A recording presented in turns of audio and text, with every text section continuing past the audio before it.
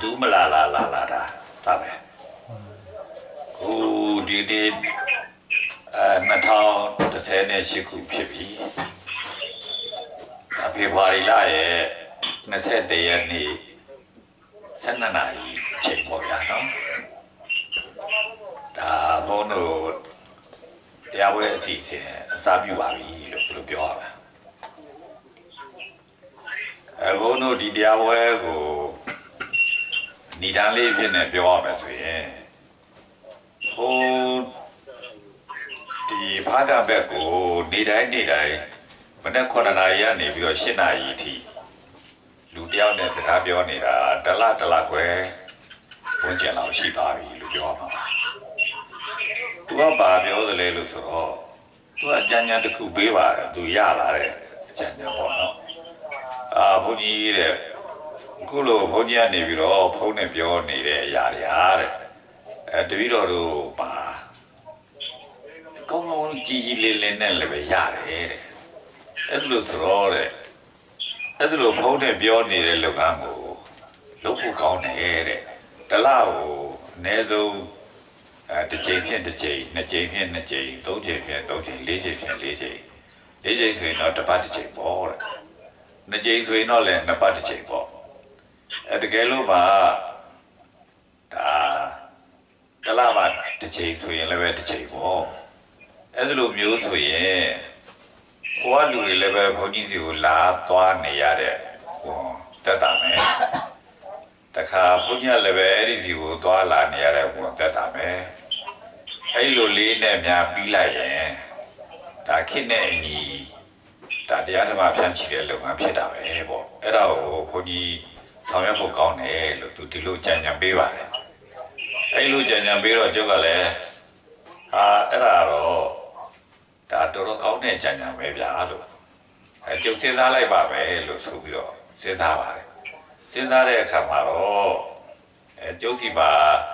အခုသူတို့ကိုအတိပေးခြင်းနေတဲ့ကျုပ်တို့ရဲ့တာဝကတွေကိုအတိပေးခြင်းနေတဲ့အရာလေးတစ်ခုလည်းကျုပ်စီပါရှိတယ်အဲ့ဒီအတိပေးခြင်းနေတဲ့အရာလေးကိုဒါ တိတ်လင်းလင်းမြန်မြန်ကြီးပေးလိုက်လို့ရှိရင်လည်းပဲတိတ်ရောက်သွားမှာမဟုတ်ဘူးလို့ထင်တယ်အဲ့လိုဆိုတော့လည်းပဲအဲ့တိတ်လင်းလင်းမြန်မြန်ပေးတယ်ဆိုတာတခါတခါမှအဲ့ဒီအကြောင်းအရာကိုပြောရင်အဲ့ဒီအကြောင်းအရာအတော်တတ်လို့မအတော်တတ်လို့မရဘူးညာအတော်တတ်လို့မရတော့တိတ်မောတယ်လို့ပြောကြပါစို့3နာရီလောက်ကြာသွားအောင်ဒီအဲ့ဒီစကားကိုတော်တော်ဒါအတော်တတ်ပြောရတယ်ပေါ့ဗျာအဲ့လိုမျိုးလို့ဖြစ်တဲ့အတွက် ဒါရက်တော့နည်းနည်းရှိရှိလေးတော့ပြောရမယ်လို့တိတ်လည်းမပင်မအောင်ဆိုရင်တော့ဒီနေ့တနာရီလောက်တနာရီလောက်နဲ့အခုဖေဖော်ဝါရီလကျန်တဲ့ရက်ကလေးရဲ့အပိုင်းဆိုင်ရာလေးကိုအားလုံးကိုအဲတို့တို့ဒါလင်္ကာခုနှစ်ရက်လောက်ပေါ့လို့အဲ့ဒါတော့ပြောကြရအောင်လို့ကျုပ်စိတ်ထဲဖြစ်ပြီးတော့အဲတောက်ကားရေးစီကိုလှမ်းပြီးတော့ကြောင်းကြားတယ်ပေါ့နော် ကြောင်းကြားတော့သူတို့တွေကလည်းပဲဟာတာဟန်ကြတာပဲတဲ့သူတို့ဒီလိုစာပိုင်းကတော့ပြောကြတယ်ဗျပြောကြရင်ပြောကြရင်ကနေပြီးတော့ဖုန်းနေချိတ်တာဆက်တာတွေကိုစလုပ်ကြည့်တဲ့အခါကျတော့အဲတိတ်မဟုတ်လာတော့ဘူးဘာလို့ဆိုတော့ဖုန်းချိတ်ဆက်ကလည်းပဲတကယ်တော့တိတ်ပြီးတဲ့ပုံလည်းမရှိဘူးဗျအဲဒီလိုမျိုးလို့ဖြစ်တော့နည်းနည်းအခက်ခဲတော့ရှိတဲ့ပုံပေါက်တယ်အဲဒီလိုဆိုတော့လေကျုပ်ကလည်းလို့တော်တဲ့ကနေပြီး စိတ်စိတ်ထဲမှာစဉ်းစားမိတဲ့ဟာနဲ့ကျုပ်ကလောက်တာလို့ဆိုတော့အဲတကယ်တော့လည်းအမှန်တော့ဖြစ်ချင်မှဖြစ်မှာပေါ့လို့အဲ့တော့ခင်ဗျားတို့ဘက်ကနေပြီးတော့ဖြစ်နိုင်တဲ့အတိုင်းထွာလေးတွေကိုလည်းပဲနားထောင်ပြီးမှကျတို့လည်းပဲလုပ်ဖို့လိုတာပေါ့လို့အဲ့ဒါကြောင့်မို့လို့တင်းမြတ်တယ်လို့လေးပြင်ဆင်ပြီးတော့လည်းလုပ်တာပေါ့လို့ဒီလိုဖြစ်ပါတယ်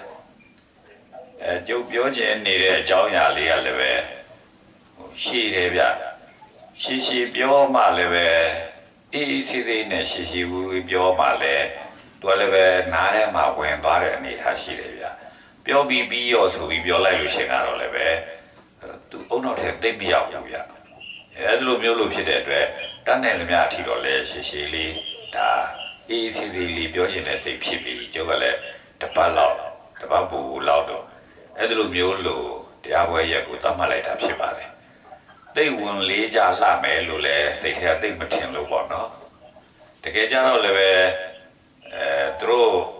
ကျုပ်နဲ့အဲ့ဒီဖားကဘက်ကစကားပြောနေတဲ့သူကဆေဟာခင်ဗျဒီလိုဆိုဖိုးဖိုးတွေအများကြီးကုန်ကုန်ပါဘောလို့ဒီလိုပြောတော့သူကနေပြီးတော့အဲ့ဒါကိုလည်းပဲအာဒီလောက်တရားနာရမှာတော့ဒီလောက်ဖိုးဖိုးတော့လဲကုန်ရမှာပေါ့ဗျာလို့သူတို့အဲ့ဒီလိုမျိုးလို့ပြောပါတယ်သူကတော့တော်တော်ပေါ့ပေါ့ပါပါလေးပြောတာလို့ဆိုတော့အဲ ဖားကန်ဆိုတာဗိုက်ဆံကပတ်ဆံမှမတိတဲ့လူတွေဖြစ်နေလို့လားတော့မသိဘူးပေါ့ဗျာဒါသူအဲ့လိုလေးပြောတယ်ဒါပေမဲ့တခြားသူတွေကြရင်တော့လဲစဉ်းစားလိုက်တော့လူတွေလူတိုင်းလူလိုတော့ဖုတ်ကင်နေကြပြီပဲဖုတ်ကလည်းတိတ်ကျွမ်းကျင်ကျင်ကင်နေကြတာဟုတ်ဖို့မရဘူးပြကျုပ်တို့တော့တိတ်ကျွမ်းကျင်ကျင်ကင်နေတာမဟုတ်ဘူးစကားပြောတာလောက်ပဲကျုပ်တို့လည်းပဲလုံးတတ်တာလို့ပြောရမှာပေါ့အဲနေရလူတွေတော့လူတွေဆိုလို့ရှိရင်ပိုးပြီးတော့တောင်းပါဆိုးတဲ့ပုံရှိတယ် ဘုံမို့လက်ကပတ်ခါအမျိုးမျိုးပြောင်းလဲပြီးကြတတ်တဲ့ပုံရှိဘူးဗျအဲဒီလိုဆိုတော့ဒါလေးလည်းပဲနည်းနည်းအကြတဲ့ခက်ခဲပုံတရတော့ရှိတယ်ဆိုပြီးတော့အဲဒီလိုပြောရမှာပေါ့ပြီးတော့လေကျုပ်စိတ်ထဲမှာဝမ်းသာသွားတာကကျုပ်ကတရားစကားပြောတဲ့အခါမှာတရားဓမ္မစကားပြောတဲ့အခါမှာတရားဓမ္မပြီးပြီးရောပွဲပြီးပွဲပြည့်ရုံတော့အဲ့လိုမျိုးလို့ပြောတာမျိုးလဲကျုပ်စိတ်ထဲမှာမလုပ်ချင်ဘူးဗျ တကယ်ကိုကျုပ်တို့သိစေခြင်းတဲ့အရာတစ်ခုကိုသိအောင်အတွက်ပြောနေတာမျိုးဖြစ်ချင်တယ်ဓာတ်ထောင်တဲ့လူတွေကလည်းပဲတို့တရားနာရတာပဲဆိုပြီးတကလားအဲ့လိုတရားနာလို့ဆိုရဲဘာလို့ညာလို့သိမသိတဲ့အရာတခုကိုအဲနားထောင်တာမျိုးမဟုတ်ပဲနဲ့ဟာတို့တရားနာရဲဆိုတာတို့သိစရာတခုကိုပြောပေးနေတာဒါကြောင့်မို့လို့တို့သိမှကိုဖြစ်ပါတို့သိမှကို ဒါတရားကိစ္စတရားကိစ္စဆရာကိုဒါနာကြရတာပြီးတော့မှာအဲအဲ့လိုမျိုးလို့ကျုပ်စိတ်ဖြစ်စေခြင်းတယ်တရားနာရဲဆိုပြီးကြလားအဲ့လိုပဲကိုကတော့တွေးချင်တာတွေးပေါ့နော်ကိုပြောပြောနေတဲ့အကြောင်းအရာတွေမှာတိတ်စိတ်မဝင်ပဲနဲ့ပြောနေရရဲ့အဲပြောရတဲ့လူလည်းမကောင်းဘူးဗျာဒါအဲကျုပ်တို့ပြောရတာတော့အဲ့ဒီလိုမျိုးတော့နဲတော့နဲတယ်လို့ပြောချင်ပါတယ် အတော်များများတရားဓမ္မဆိုလို့ရှိရင်ပြောကြတာမှာတကယ်တော့တယောက်တည်းပြောနေရတယ်လို့မျိုးလူဖြစ်တယ်ဗျဘာဖြစ်လို့လဲဆိုရင်နာသူကနားလေလားလည်းမသိနားမလဲလားလည်းမသိအဲတကယ်စိတ်ဝင်စားအနေနဲ့လည်းပဲမရှိဘူးစိတ်ဝင်စားနိုင်လောက်တဲ့အနေထားလည်းမရှိဘူးအဲဒါလိုမျိုးလို့ဖြစ်တဲ့အတွက်ဒါအဲဒါလိုတရားမဟောချင်ဘူးအဲလိုပဲတခါ ဗီဒီယိုနဲ့ရိုက်ပေါ့ဖွင့်ဖို့တော့အဲဗီဒီယိုနဲ့ရိုက်ပြီးခါလာဖြန့်လိုက်ရင်ဒါတခါတည်းနဲ့ပြီးသွားတာပဲလူတွေလည်းပဲဘာမှဝင်မတက်တော့ဘူးလို့ပြောစရာရှိတယ်တကယ်တော့ဗီဒီယိုနဲ့ရိုက်ဆိုတာလည်းပဲအဲကျုပ်တို့ကလည်းပဲတယောက်တည်းတရားမဟောတတ်ဘူးဗျတရားနာသူမရှိဘဲနဲ့တရားမဟောတတ်ဘူးတရားဟောတယ်ဆိုတာကစကားပြောတာပါပဲစကားပြောတယ်ဆိုတာစကားနားထောင်တဲ့လူရှိတယ် ပြောတဲ့လူရှိတယ်အဲ့ဒီပြောတဲ့လူကိုနားထောင်တဲ့လူကပြန်ပြီးတော့စိတ်ထဲကနေပြီးတော့ပြောချင်တာတွေလည်းရှိတယ်အဲ့လိုမျိုးလို့အပြန်အလှန်စကားပြောနေတဲ့ပုံတံမျိုးလို့ဖြစ်တယ်ဗျတရားဟောတယ်ဆိုတာ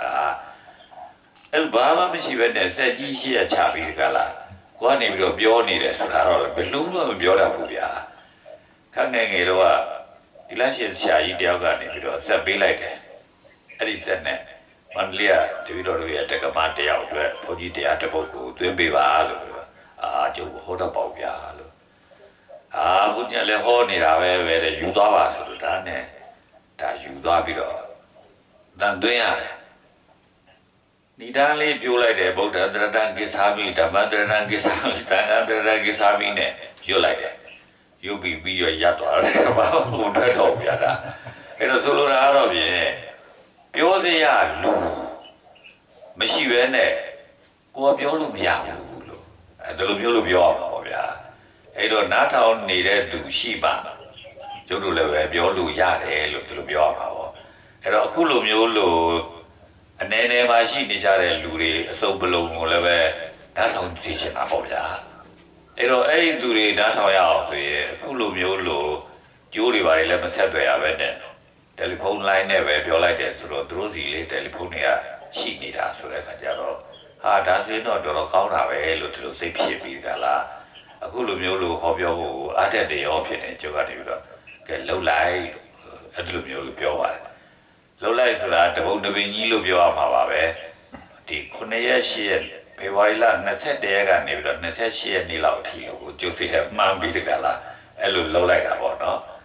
အဲလှုပ်လိုက်လို့ဝမ်းသာနေတဲ့အချိန်တွင်မှာပဲအဲမျိုးမျိုးပုံပုံလည်းပြန်ပြောကြတာပေါ့ဗျာဟာဒီလိုကြီးကတော့ဒါကောင်းတယ်လို့ပြောတဲ့လူကပြောသလိုဒါကြီးကတော့မကောင်းသေးပါဘူးဘယ်လိုဖြစ်ပါတယ်နဲ့အဲ့လိုပြောတဲ့လူတွေကလည်းပြောကြတယ်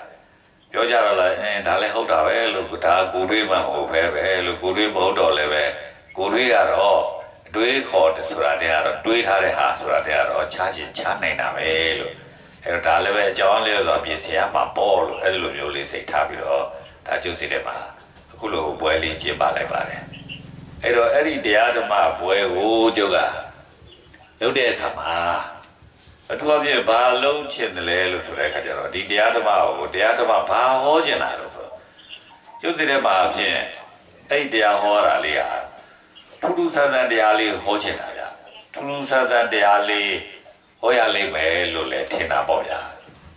အဲကျုပ်ကသာထူးဆန်းတာသူများတွေကတော့ထူးဆန်းကြပါလေထူးဆန်းပါဗျာကျုပ်ကတော့ဘယ်လောက်ထူးဆန်းလဲဆိုတော်တော်ကြီးကိုထူးဆန်းတယ်တော်တော်ကြီးကိုထူးကြတယ်လို့ပြောကြဆိုဟိုတဘာဝတရားတွေဟိုပွားများလိုက်လို့တဘာဝတရားတွေတွေကနေပြီးတော့ထူးထူးခြားခြားတစ်ခုကိုသိလာတဲ့အနေအထားမျိုးဖြစ်လို့ထူးကြတယ်လို့ပြောတယ်လို့မမှတ်ပေးပါနဲ့လို့ဒီလိုပြောပေါ့နော်အဲကျုပ်ထူးကြတယ်လို့မြင်တာကတော့ အဲတခြားမဟုတ်ဘူးဗျဟာလို့တို့ကျင့်သုံးနေကြရတဲ့တရားကတကယ်တော့ဒုတရားပဲတို့ကျင့်သုံးနေကြရတဲ့တရားကတို့လူတွေရဲ့တရားပဲအဲ့ဒါကိုဒီစကားကိုကြုံပြောလိုက်တော့လေဒီစကားခင်ဗျားတို့စမ်းတယ်လို့မြင်မှာမဟုတ်ပါဘူးအဲတို့လူတွေရဲ့တရားငါကလည်းလူတွေရဲ့တရားပါပဲတို့ခုလည်းလူတွေရဲ့တရားပါပဲနဲ့ ဒီလိုလည်းပဲတာမန်အပြင်တွေးရှင်တွေးပါကျုပ်ကလူတွေရဲ့တရားလို့ဆိုတာလူတွေကနေပြီးတော့ကိုတိဆောက်ထားတဲ့တရားဒီလိုဆိုလိုတာဗျာပြောပါစေတော့ဘာသာတရားတွေကနေပြီးတော့တိဆောက်ထားတဲ့တရားမဟုတ်ဘူးလို့ဆိုတဲ့ဟာမျိုးပေါ့ဗျာအဲ့ဒါကိုပြောချင်တယ်ဗျတရားဆိုတာတကယ်ကြတော့လူတွေကနေပြီးတော့ကိုတိဆောက်ထားတဲ့တရား ဘာသာတရားတွေကနေတိဆောက်ထားတဲ့တရားမဟုတ်ဘူးဘာသာတရားတွေကဒါဖြစ်ဘာလို့တော်လို့ဆိုတော့ဘာသာတရားတွေကလူတွေတိဆောက်ထားတဲ့တရားကိုတိဆောက်လို့မရနိုင်နေတဲ့အခါကျတော့ပတ်ပိုးကြတာဘာသာတရားပတ်ပိုးတာဘာသာတရားပတ်ပိုးတဲ့အခါကျတော့ခရိယာတရားလည်းပတ်ပိုးတယ်မွတ်စလင်တရားလည်းပဲလူတွေရဲ့တရားကိုပတ်ပိုးရတယ်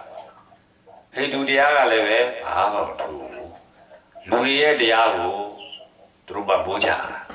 လူတွေကအဲ့ဒီတရားကိုမနိုင်ဘူးဗျသူတို့တတ်မှတ်တော့တတ်မှတ်ထားတယ်လူတွေရဲ့သူတို့တတ်မှတ်ထားတဲ့တရားကိုမနိုင်တဲ့အတွက်ဘာသာတရားတွေပေါ်ပြီးတခါလာပတ်ပိုးကြတယ်အဲ့တဲ့ကျုပ်တို့ရဲ့ဗုဒ္ဓဘုရားအဲကျုပ်တို့ဗုဒ္ဓဘုရားလည်းအဲ့တိုင်းပဲလူတွေရဲ့တရားကိုသူလည်းပတ်ပိုးတဲ့တရားပဲပြောမစင်တော့တကယ်တော့ဒါတရားရင်းက ဗုဒ္ဓတရားမဟုတ်ဘူးပတ်ပိုးတဲ့တရားမှသူတရားဖြစ်တယ်အဲခရိယာတို့ဟိန္ဒူတို့မွတ်စလင်တို့ဆိုတာလည်းခင်ဗျားတို့ကိုကိုယ်တိုင်အဲ့လိုဘာသာဝင်နေမဟုတ်ပြီမဲ့အဲသူတို့တွေကိုပံ့ပိုးတာကိုတော့သိပါပဲဘယ်လိုသိမသိရမလဲလို့ဆိုရင်ဥပမာခင်ဗျားတို့လည်းပြောသဘောအပြင်သိနေတဲ့ခရိယန်ဘာသာဆိုလို့ရှိရင်ထာဝရဘုရားမွတ်စလင်ဘာသာဆိုလို့ရှိရင်ဒါအလ္လာဟူဘုရား ဟောအဲ့ဒီဘုရားတွေသူတို့ကိုးကွယ်ကြတယ်ဗျအဲ့ဒီဘုရားဟာသူတို့ကျင့်နေကြတဲ့လူတရားကိုသူတို့ကျင့်ဖို့ရန်အတွက်အတ္တပတ်ခံထားတဲ့လူတရားကို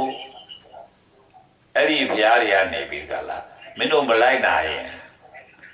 ဒါမင်းတို့သိပြီးတောက်ကြတော့တရားစီရင်ပြီးတော့အဲ့ဒီမလိုက်တာတာတွေ့ရလို့ရှိရင်မင်းတို့ငရဲမိနဲ့ရှုပ်ပြီးတော့ကမ္ဘာလောကတွေကနေဖြောက်ဖြက်ပြပါလို့အဲ့ဒီလိုမျိုးလို့ အဲ့ဒီဘုရားတွေကနေပြီးတော့ချိန်ချောက်တယ်ဗျလူတွေကိုအဲ့ဒီချိန်ချောက်တာဟာပြောမစင်တော့လူတွေရဲ့တရားကိုမမိုးတာပဲဗျလူတွေရဲ့တရားကိုမလိုက်နာခြင်းဘူးမလိုက်နာခြင်းပင်ပဲလို့အဲမလိုက်နာလို့ရှိရင်တော့မင်းတို့ကိုဟောဒီကမ္ဘာလောကတွေကနေပျောက်ပြတ်သွားအောင်ကိုငရဲပြီးတဲ့ကိုရှုပ်မှုတ်ပြီးစကားလားပျောက်ပြတ်ပြပါလို့ အဲ तू ကအဲ့လိုမျိုးနီလာအပြင်လူတွေရဲ့တရားကိုလိုက်နာကြဖို့ရအတွက်တပ္ပုမှုလုပ်ငန်းကိုလုပ်တယ်ဗျဒါခရိယန်နဲ့မွတ်စလင်တွေရဲ့တရားဟိန္ဒူတွေကြတော့ဘောလို့ပြီးတော့ဟိန္ဒူတွေကလည်းပဲတကယ်လို့များမင်းတို့ဒါ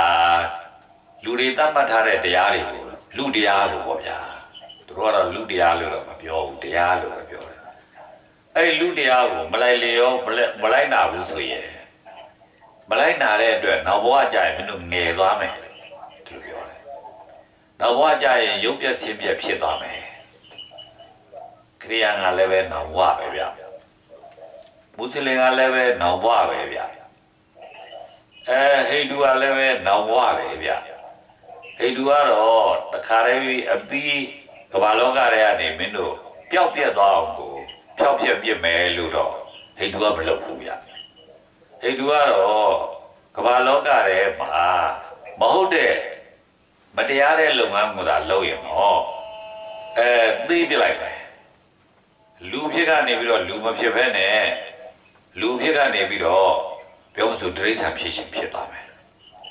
အဲလူဖြစ်ကနေပြီးတော့တခြားပုံမှားတွေဖြစ်ခြင်းလည်းဖြစ်ပါမယ်အဆရှိတဲ့သူကနောင်ဘဝကိုဒါမှုတ်သွားလိမ့်မယ်ငယ်သွားလိမ့်မယ်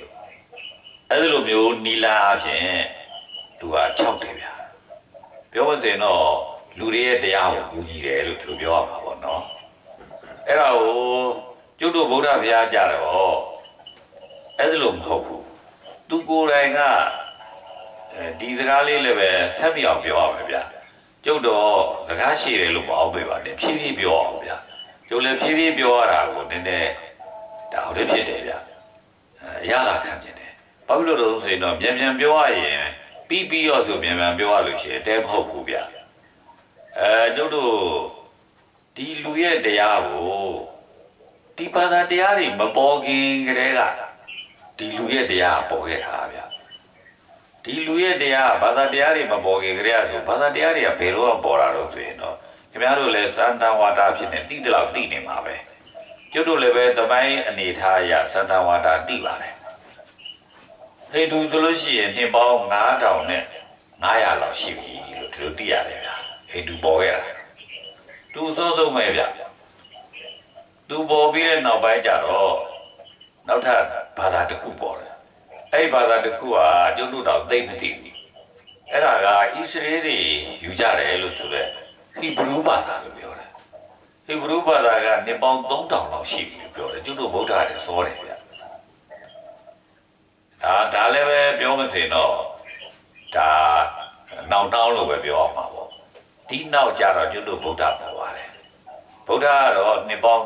2500လောက်ရှိသွားပြီပေါ့ကျွတ်တို့ပေါ်တာအဲ့တော့ဗုဒ္ဓရဲ့နှစ်ပေါင်း2500လောက်ရဲ့နှစ်ပြန်ကဟိန္ဒူအဲ့ဒီရဲ့ဂျားလောက်ကတော့ဟိဘရူဘာသာပေါ့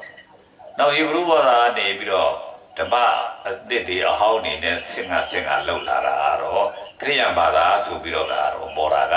နှစ်2000လောက်ရှိပါပြီအဲမွတ်စလင်ဘာသာကတော့သူ့တဲ့နောက်ကျပြီးပါပဲသူကပေါ်ပါတယ်ဒီလိုပြောမယ်ဆိုရင်တော့ဘာသာတရားတွေကအများဆုံးစပေါ်တာကမှနှစ်ပေါင်း9000နဲ့900လောက်ရှိတယ်လူကအဲ့ဒါလောက်မကဒီလူရဲ့တရားပေါ်ခဲ့တာကတိတ်ကြသွားပြီလို့ပြောကြတယ်တိတ်ကြသွားပြီလို့ဆိုတာဘလောက်ကြာတယ်လို့ဆိုတာလည်းပဲ ကျုပ်တို့ရဲ့ဒီတာဝကတွေဟိုမပတ်သားသားစိတ်ထဲမှာရှိစေခြင်းပဲဗျာဘာလို့လို့စိတ်ထဲမှာရှိစေခြင်းလဲလို့ဆိုတော့ငါတို့တရားပေါ်တာဟာနှစ်ပေါင်းဘယ်လောက်ရှိပြီလဲလို့ဆိုတာမသိတာလည်းတိတ်မသိမြတ်ဘူးဘာလို့မသိမြတ်တာလဲလို့ဆိုလို့ရှိရင်ဟိုတိတ်ဝေးလုံးမကဝေးသွားပြီးတော့မုံလုံးကပုံသွားလို့ရှိရင်မလိုက်နိုင်တော့တယ်လို့စိတ်ထဲဖြစ်သွားမှာဆိုရင်လို့ပါပဲ အဲ့တော့လူတရားဘယ်တော့မှစပေါ်တာလဲလို့ဆိုရင်တကယ်တော့လူတရားဟာလူရင်ကျေးမှုပေါ်ပြီးနောက်ပိုင်းမှာပေါ်တာပဲဗျအဲ့ဒါလေးကိုခင်ဗျားတို့စိတ်ထဲမှာအပီအပြင်ခေါင်းထဲမှာဝင်ထားလိုက်ကြစေချင်ပါတယ်ဗျလူတရားဟာလူရင်ကျေးမှုပေါ်ပြီးမှပေါ်တာဖြစ်တယ်လူရင်ကျေးမှုပေါ်တာနဲ့လူတရားနဲ့ဘယ်လိုပတ်သက်တယ်လဲလို့မေးလူဟာရင်ကျေးမှုရဲ့လို့ပေါ်လာပြီဆိုရင် ရင်ကျေးမှုဆိုတာကိုဘယ်လိုပြောမလဲလို့ဆိုတော့ရင်ကျေးမှုကိုကျုပ်ကအတဲ့အတိတ်ပဲနည်းနည်းဖွဲ့ပါမယ်ဒါသူသူ့ရဲ့အဓိပ္ပာယ်ရှိတာတွေအတိုင်းအကုန်ဖွင့်တယ်လို့မဆိုလိုပါဘူးဗျအဲကျုပ်လိုချင်တဲ့အတိုင်းထွာအတိုင်းဖွင့်ပါပါလူရင်ကျေးမှုဆိုတာလူတွေဟာတူနဲ့တူဒါဆက်ဆက်ဆက်ဆက်နေလာကြတယ်ဆက်ဆက်ဆက်ဆက်နေလာတယ်ဆိုတာဒါပြောမစင်တော့အာဒီမစားပြီလား နေကောင်းရဲ့လားလို့ဆိုတဲ့ဟာမျိုးနှုတ်ဆက်တာမျိုးလို့လောက်အာကိုလဘောနေနေကိုဒီဝနေနေနှုတ်ဆက်တာမျိုးတွေလောက်ကိုဆက်ဆက်ဆက်ဆက်နေတယ်လို့ဆိုလိုတာမဟုတ်ပါဘူးဗျတကယ်တော့ဆက်ဆက်ဆက်ဆက်နေတယ်ဆိုတာလူတိုင်းလူတိုင်းအလုံးလုံးတယ်ဒါပြောရမှာပေါ့နော်လူတိုင်းလူတိုင်းအလုံးလုံးတာဟာသူ့လုံးလုံးတာဟာသူ့အတွက်မဟုတ်ဘူးဒါလေးဖြင့်နားရဲဝင်ပေးကြပါလို့ပြောကြပါလို့ဒီနေ့လဲလူတွေဟာ တယောက်မကြံလူလူလောက်ပါပဲလူတိုင်းလူတိုင်းလှုပ်လှုပ်ကြပါတယ်အဲ့လိုလူတိုင်းလူတိုင်းလှုပ်လှုပ်ကြတဲ့အခါမှာအဲ့ဒီလှုပ်လှုပ်တာတွေဟာသူတို့အတွက်မဟုတ်ဘူးဗျာဒါပေမဲ့လို့လေလူကကိုယ့်အတွက်လူလူတော့ထင်ကြတယ်ဗျာကိုယ့်အတွက်မဟုတ်ပဲနဲ့သူများအတွက်လှုပ်လှုပ်တာပဲကိုလှုပ်တဲ့အလုပ်ဟာသူများအသုံးကျတာတွေကြီးပဲသူတို့လှုပ်တာပဲလို့သူတို့ပြောပါပါဗျာကိုလှုပ်တဲ့အလုပ်ဟာ သူတို့အသုံးကျတာတွေကြီးတဲ့လှုပ်တာဖြစ်တဲ့အတွက်သူများအသုံးကျအောင်အလုပ်လုပ်တဲ့သူဟာသူများကိုကိုကတန်ကြီးကြီးတစ်ခုခုနဲ့အလုံကျွေးပြုပြီးပံ့ပိုးနေတယ်လို့အဓိပ္ပာယ်ရောက်တာပေါ့ဒါလေးပြန်ပြောရမယ်သူများကိုတန်ကြီးကြီးတစ်ခုနဲ့ကိုလုပ်တဲ့အရာတန်ကြီးရှိတယ်ဥပမာဦးဝေးမြေပေါင်းဆိုရင် အာမိုးဟင်းကရောက်တယ်ဆိုရင်အာမိုးဟင်းကရောက်တာတကယ်တော့မိုးဟင်းကစားချရဖို့ရန်အတွက်မိုးဟင်းကရောက်တာပဲအဲ့တော့သူ့ရဲ့မိုးဟင်းကဟာသူစားဖို့မဟုတ်ဘူးအဲ့ဒီလူတွေစားဖို့အတွက်သူကနေပြီးတော့ဒါတကြီးတစ်ခုသူကစူးစေလိုက်တာပဲလို့ဒီလိုပြောရမယ်ဗျာအဲအဲ့ဒီလိုမျိုးလို့သူကနေပြီးတော့တခါတည်းတန်ကြီးတစ်ခုနဲ့သူများကိုစူးပေးလိုက်တယ်လို့ သူများတတွေကြတော့ခေါ်လို့မယ်လို့သူများတတွေလှုပ်လှုပ်တာလဲသူတို့အတွက်မဟုတ်ဘူးသူတို့ပတ်ဝန်းကျင်ကလူတွေအသုံးကျတဲ့ဟာကိုပဲသူလှုပ်ပေးတာဖြစ်တယ်အဲ့လိုဆိုတော့အဲ့ဒီလူလှုပ်တာဟာအဲ့ဒီလူရဲ့တန်ကြီးကြီးဆိုတဲ့စကားတော့ကနည်းနည်းပြင်ပြောရမယ်ထင်တယ်အမှန်တော့ကြီးဆိုတာဟိုငွေကြီးလို့ရှင်းတာကြီးဟိုကြီးကိုပြောတာမဟုတ်ဘူးငွေကြီးဆိုရင်ကြီးဆိုတာဘာလို့လို့မေး ကျုပ်ကတော့ကြေတာလို့သူပြောချင်တယ်ဥမာတရားတန်တဲ့ပစ္စည်းကိုကိုကလိုချင်တယ်ဆိုလို့ရှိရင်ယူလိုက်ယူလိုက်ပြီးသွားလို့ရှိရင်ကိုကနေပြီးတော့မဆန်တရားသူ့ပေးခဲ့တယ်ဟိုကြေအောင်ပေါ့နော်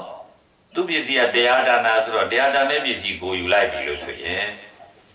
အဲကိုယူတာကလဲတဲ့သဘောမျိုးပေါ့သူဟာကတရားဒါနာဆိုတော့ကိုကတရားသူ့ ပြန်ပေးခဲ့တယ်အဲ့ဒါဘာလို့ဆိုတော့တန်တဲ့အကြေပေါ့နော်ဒါကြောင့်မလို့တန်ကြေလို့တော့ကြိုးပြပြောချင်ပါတယ်တန်ကြေကနေတန်ကြေပေါ့ဒါဖြစ်ကြေဖြစ်သွားတယ်လို့ပြောကြပါလို့အဲ့ဒီကြေကနေပြီးတော့ဒါတန်ကြေကိုသူများကိုလုံကျွေးနေတာဆိုတော့ကိုလုံကျွေးတာကိုလူလောကကြီးကခံရတယ်လို့ဆိုတော့အဲ့ဒါကြေးတွေစူးကုန်တာပဲကိုလုံတဲ့တန်ကြေးတွေ အဲလူလောကစူးကုန်တာလို့ပြောတာစူးဆိုတဲ့စကားလည်းပဲဒီရောက်တယ်လို့ဆိုတဲ့အဓိပ္ပာယ်မျိုးပြောပါပါဗျာရှေးစကားမျိုးပေါ့နော်စူးတယ်ရောက်တယ်အဲဒီလိုမျိုးပေါ့အဲ့တော့ဆိုလိုတာကတော့အဲ့ဒီလိုမျိုးလို့လူတွေဟာတိုးတဲ့တူဟာသူလောက်တာကိုကိုသုံးကိုလောက်တာကိုလည်းပဲသူတို့ကသုံးအဲ့လိုအချင်းချင်းတခါလေလုံနေကြ သုံးနေကြသုံးနေလို့သုံးကိုသုံးရုံပဲသုံးတလားကိုဘာမလုပ်ဘူးလားဆိုရင်ကိုလည်းလုပ်ပြီးတော့ပဲလူလောကအတွက်လှုပ်ကြွေးနေတာပဲတခါလူလောကရောကိုကိုဘာမှမလုပ်ဘူးကြွေးဘူးလားဆိုတော့သူတို့ပဲလှုပ်ကြွေးနေတာပဲအဲအဲ့ဒီလိုမျိုးလို့ဖြစ်တဲ့အတွက်တကယ်တော့လူလောကဟာဒိုးတဲ့ဒိုးဟာဒါပေါင်းစပ်ပြီးနေတယ်ပေါ့အခုအဲ့ဒီဟာလည်းပဲတိတ်ကိုအမြင်နဲလွန်းနေတဲ့အတွက်ကျုပ်ကအဗဒနှင်းနှင်းနဲ့အဗဒဖြည်းဖြည်းပြောတယ်လို့မှတ်ပါဗျ တကယ်တော့ကျုပ်တို့လူတွေတယောက်နဲ့တယောက်အလုပ်ကျွေးပြုနေကြတယ်လူတွေအားလုံးပေါင်းထားတဲ့အရာကြီးကိုပါဠိလိုခေါ်လိုက်လို့ရှိရင်လောကလို့ခေါ်တာပါ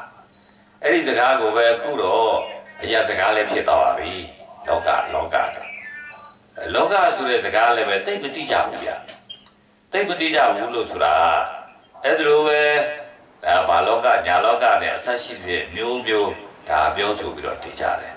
တကယ်ဆိုတော့လူအလုံးကိုလောကလို့ခေါ်တာပါဗျလူအလုံးဟာတယောက်လောက်တာတွေနဲ့တယောက်စီရောက်တယောက်လောက်တာတွေနဲ့တယောက်စီရောက်ပြီးတကလားအဲဒီလိုမျိုးလို့ဒါတန်ကြီးတွေဆူးရှာပြီးတော့နေကြပါတယ်လို့ဒီလိုပြောအောင်ပါနော်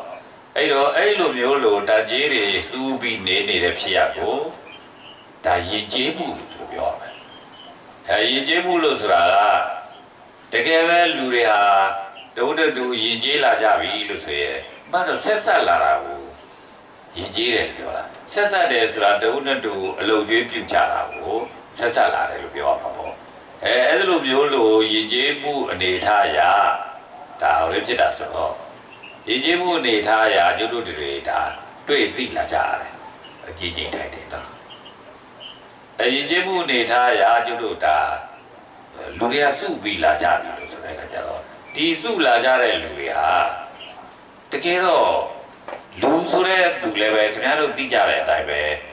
ဟိုတတ္တဝါမျိုးစားပဲဗျတတ္တဝါမျိုးစားပဲလို့ဆိုတာကပြောမစွေ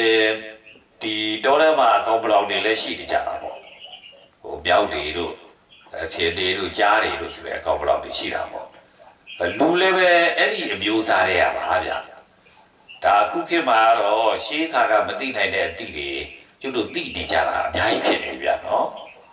ရှေးခါကတော့ဘာမှကိုသိမသိနိုင်ဘူးဗျအဲသိမသိနိုင်ဘူးလို့ဆိုတာဘယ်သူမှလည်းသိမလေးလာနိုင်ဘူးဗျလေးလာတဲ့ဟာလည်းလေးလာတဲ့သူပဲသိပြီးတကလားသူများတွေသိသိခွင့်မရဘူးဗျအခုကတော့တယောက်လေးလာပြီးသွားရဲ့အလုံးသိဖို့ရအတွက်ဖြန့်ကျက်ပြီးပြောဆိုတာတွေကလည်းပဲပေါ်နေတာဆိုတော့ဒါ ပြောစင်တော့သိကြတယ်လို့ပြောကြပါဆိုတော့အဲ့လိုဖြစ်တဲ့အတွက်ဒီလူတွေဟာဘယ်လိုဖြစ်လာလဲလို့ဆိုတာလည်းပဲခုခေတ်တော့သိလာကြပြီဗျဒီလူတွေရဲ့နေရာကြီးဖြစ်တဲ့ဒီကဘာမြေကြီးကြီးဘယ်လိုဖြစ်လာတယ်ဆိုတာလည်းပဲဟောလူတွေသိလာကြပြီဗျဟောအဲ့လိုသိလာနေကြတာဆိုတော့ပြောစင်တော့လူတွေရဲ့အသိတွေကဘယ်လိုဖြစ်လာလဲဆိုတော့ရှေးကာကဒီလူတွေလည်းပဲမိုးဘွားကြလာတာမဟုတ်ဘူးမြေကြီးတွေကပေါက်လာတာလည်းမဟုတ်ဘူး ပြောလို့ဆိုရင်တော့ဒီလူတွေလည်းပဲသူ့အနဲ့သူသူ့အစင်းစင်းသူ့အစင်းစင်းဖြစ်ထွန်းလာတာလို့ဆိုတာကိုကျတို့သိရတယ်ဗျာဒီတော့ဒီလူတွေကဒီလိုတခြားတ attva တွေနဲ့အတူတူပဲဖြစ်ပါရဲ့နဲ့ဒီကနေ့လူတွေဟာတခြားတ attva တွေနဲ့ဖြစ်လုံးဝမတူနိုင်တော့အောင်အနေထားကိုဖြစ်နေကြပြီဘာဖြစ်လို့ဖြစ်နေတယ်ပြောရတယ်လို့ဆိုရင်တော့လူတွေဟာတခြားတ attva နဲ့ထူးခြားချက်ကတော့ပြောလို့မဆုံးနိုင်အောင်ရှိနေပါပြီဝတ်တွေဝတ်ကြတယ် အစားအစာတွေကိုပြင်ဆင်ပြီးစားတော့ကြတယ်အိမ်အိမ်ရနေရာတွေသုံးဆွဲကြတယ်အစားအစာလူမှုဆက်ဆံတာတွေဘာတွေကတော့ပြောမစိုးပါဘူးတကယ်ဖြစ်နေပါပြီလို့ပြောကြဆိုအဲ့ဒါတော့ဖြစ်တာဘယ်လိုပြောရမလဲဆိုရင်ဒုတက်တာဟောဒါကိုဘယ်လိုပြောရမလဲလို့ဆိုရင်တော့ဒုတက်တာအဲလူကတတ္တဝအပြင်ဘက်ကိုယုံထွက်လာတယ်လို့ပြောရမလောက်ကိုဒုတက်လာတယ်အဲ့ဒါလိုဒုတက်ပြီးလာတဲ့အခါကျတော့ဟာတို့ဒီလိုဒုတက်တာဟာ တို့တယောက်ကိုတယောက်ပေါင်းစည်းပြီးတော့နေထိုင်ကြလို့တိုးတက်တာအဲပေါင်းစည်းပြီးတော့နေထိုင်ကြလို့တိုးတက်တာဖြစ်တဲ့အတွက်ဒီလိုပေါင်းစည်းမှုဟာတော်တော်တန်ဖိုးရှိတယ်လို့လူတွေသိသွားကြတယ်ဒါရှေးခါကလူတွေပြောတာရှေးခါကဆိုတော့ဘယ်လောက်ရှေးလို့ခင်ဗျားတို့မှန်းမလဲလို့ဆိုရင်မှန်းနိုင်မယ်မထင်ဘူးမှန်းနိုင်မယ်မထင်ဘူးလို့ဆိုတာခင်ဗျားတို့ကအဲရှေးကြတဲ့လူတွေဆိုတော့လည်းပဲရှင်းကြတဲ့လူတွေကရှင်းတဲ့လူတွေက အများကြီးပြောခဲ့တယ်ဗျလူဘယ်တော့မှစတယ်လဲလို့ပြောရင်ကိုပဲအာ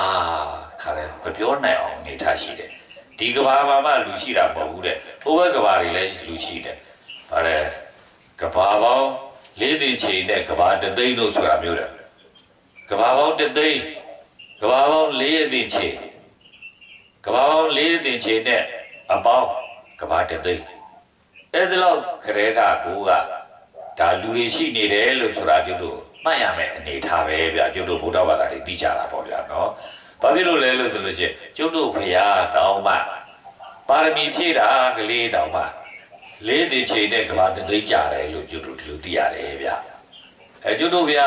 ပါရမီဖြည့်တာဖြည့်တာလေးတင်ချိန်နဲ့ကဘာတသိဆိုတာဒါပေမဲ့ကျွတ်တို့ဘုရားတဆူလဲရှိရလားဆိုမမေးနဲ့တဲ့ရပဲနောက်ထပ်ဘုရားတွေဘုရားတွေကလည်းပဲဒီကမြင်တဲ့ကသဲတွေလောက်ရှိတယ်လို့ပြောတယ်ဗျာ ဒါတွေကတော့ဒါခင်ဗျားတို့လည်းပဲအခုလိုကျွတ်တို့နားကိုရောက်ပြီးကျွတ်တို့စကားကိုနားထောင်နေတဲ့အချိန်မှာတော့ဒါခင်ဗျားတို့ပြက်ပြက်သားသားကျွတ်ကပြောခဲ့တယ်အဲ့ဒါကို delete တာလုပ်တော့ရလို့တကားလည်းဘာလို့အဲ့ဒါလေးကိုမလုပ်ရပါနဲ့လေဗျာဒလီလောအောင် delete တာလုပ်တော့လို့တကယ်လို့ရမှာဗျာဘာဖြစ်လို့လို့လို့ဆိုလို့ရှိရင်ကျွတ်တို့စကားပြောကြတယ်လို့ဆိုတာဟာစကားနှစ်ရှိမှစကားရဲ့အနှစ်ရှိမှ ဒီစကားကစကားဖြစ်တယ်ဗျာစကားကလေပဲဖြစ်တယ်လို့ဆိုရင်တော့အဲ့ဒီစကားကစကားမဟုတ်ဘူးဗျာဘာမှသိစရာလည်းမရှိဘူးရစရာလည်းမရှိဘူးအဲမြင်စရာလည်းမရှိဘူးဆိုတော့ဒါကတော့လေပဲဗျာအဲလေးသိချင်းနဲ့ကဘာတသိန်းတို့ဘာလို့လဲကဘာတသိန်းတာလို့တကဘာတော့မှကျတော့ကိုအောင်ကြည့်ကြသပါဦးကဘာတသိန်းလို့ဆိုတာလေကဘာတစ်ထောင်ဆိုတာပဲကြည့်ပါဦးဆယ်ကဘာပဲကြည့်ပါဦး ဘယ်လူကြည့်အဲ့လိုလည်းပဲရှိတာမဟုတ်တာကိုကဘာတသိန်းနဲ့ဗျာတခါလေကဘာ30ကနေစမပြောဘူးကဘာ100တွေ1000တွေ1000တွေလည်းမပါဘူးကဘာတသိန်းနဲ့ကဘာတသိန်းလေးကနည်းနည်းလေးရှိသေးတယ်အစွန်းတွက်ကလေးတော့မှန်ပါကိုကလေးအတင်ချေတယ်ဗျာမှန်ပါအတင်ချေဆိုတာသိန်းကနေပြီးတော့ဘယ်လောက်ထိကြာပါလို့ဆိုတော့တသိန်း10ခုကိုတသန်းတသန်း10ခုကိုတကတိတကတိ10ခုကိုပကတိလို့ပါဠိအတွက်တယ်ဗျာ ပကတိ10ခုကိုနဟုဒတစ်ခုနဟုဒ10ခုကိုနေနဟုဒတစ်ခုနေနဟုဒ10ခုကိုအဘဘတစ်ခုအဲ့လို10ခု10ခုနဲ့သွားတာအဘဘအဟအတတအဲသောဂာနိကကုမူဒဗုဒ္ဓရိကကထာနာမဟာကထာနာအတိချေရအဲ့ဒီကြမှာအတိချေရောက်ပါဗျာအဲ10ခု10ခုတွေကကြားထဲမှာအများကြီးလို့ဆိုတဲ့အခါကျတော့ ရေတောင်းမရေတွက်နိုင်ဘူးလို့ပြောရမှာပေါ့နော်မှန်ပါအဲ့တော့အတင်ချေပေါင်း၄အတင်ချေတဲ့ဒါတတင်ချေတောင်းမကဘူးလေအဲ့ဒါတွေကပြောလို့ဆိုရင်တော့ဒီစကားတွေကိုစကားလို့ကျွတ်တို့ပြောကြလို့ပြောနေကြရရာနေပြီးတော့ဒီစကားတွေကိုစကားတွေဖြစ်နေကျွတ်တို့နားထောင်နေကြရနေပြီးတော့ဒါတွေကိုကျွတ်တို့ကနေပြီးတော့ delete လုပ်ကြမယ်ဗျာမှန်ပါဗျာလုတ်ကိုပြစ်လိုက်ကြအောင်နော်မှန်ပါဗျာဘာဖြစ်လို့လုတ်ကိုပြစ်လိုက်ကြအောင်လို့ပြောလဲဆို ဒါ delete မလုပ်ဘဲနဲ့သူ့အရှိတစ်ခုအဖြစ်နဲ့ကျွတ်တို့ကနေပြီးတော့သိမ့်ထားလို့ရှိရင်ကျွတ်တို့ကောင်းထဲမှာရှုပ်တယ်ပါဗျာဘာမှမဟုတ်တဲ့အရာကိုသိမ့်ထားဘူးဗျာဘာမှမဟုတ်တဲ့အရာကိုသိမ့်ထားလို့ရှိရင်သိမ့်ထားတဲ့အတွက်အုံတော့အစိပ်ပိုင်းကုန်သွားတာပဲရှိပါဗျာနော်ကွန်ပျူတာတစ်ခုနဲ့ကိုကျွတ်တို့ကအဓိပ္ပာယ်ရှိတာတော့ပဲသွင်းမှာဖြစ်ပါအဓိပ္ပာယ်မရှိတာသွင်းထားရင်အဲ့ဒီကွန်ပျူတာရဲ့ software ကုန်သွားတာပဲရှိပါဗျာဒီ hardware ကုန်သွားတာပဲရှိပါအဲ့ဒီလိုမျိုးလို့ဖြစ်တဲ့အတွက်ခုနကပြောခဲ့တဲ့ ဒီလေးသိန်းချေနဲ့ကဘာတသိန်းလို့ဆိုတဲ့အချိန်တွေတော့လူတွေရှိတယ်လို့ဘောသူဘုရားတော်သူပါရမီဖြည့်နေပြီလို့ဆိုတော့ပါရမီဖြည့်ခံထားရတဲ့လောကကြီးကအခုတိုင်းပဲလို့ဆိုတာမျိုးလို့စိတ်ထဲမှာကျွတ်တော့တိနေကြတဲ့ပုံကိုဗျအဲ့ဒီကလေးကလူတွေရှိတယ်ဆိုတာကြီးအသေးပဲရောက်နေတာအဲ့ဒါကြီးကတော်တော်ကိုမကောင်းတဲ့ကျွတ်တို့အပိုက်တရဲ့ကြီးဗျအပိုက်တရားမှာ ကျုပ်တို့တွန်းလို့မနိုင်ထိုးလို့မနိုင်ဆွဲလို့မနိုင်ချလို့မနိုင်နဲ့အပိုက်တရားကြီးဗျဒီလိုအပိုက်တရားကြီးတွေကကျုပ်တို့ကောင်းတဲ့ဝင်နေပြီလို့ထင်တယ်ကျုပ်တို့မှာအခက်အခဲမရှိတော့ဘူးလားဗျာမှန်ပါရှိပါဒါကြောင့်အဲ့လိုအခက်အခဲမျိုးမဖြစ်အောင်ဒါကျုပ်သိညာကလေးနဲ့ခင်ဗျားတို့ကိုပြောနေတယ်လို့လည်းမဟုတ်ဘူးဗျာနော်ဒီကနေ့လောကလုံးကသိထားတဲ့အသိဉာဏ်နဲ့ကျုပ်ကပြောနေတာတလောကလုံးကသိတဲ့အသိဉာဏ်ဆိုတာကအခုခေတ်ကဟိုတိတ်ပခေတ်ရောက်လာပြီဆိုတဲ့ခါကျတော့ တင်းတဲ့တင်းတဲ့ဘောင်းမှာသုံးသုံးတဲ့ကနေနှစ်တော့ရင်တိကျန်တယ်ဆိုတဲ့ဟာမျိုးလို့ကိုကဏ္ဍတဲ့တွက်လို့ချက်လို့ကိုရတဲ့အနေအထားရှိတဲ့ပြောဆိုရင်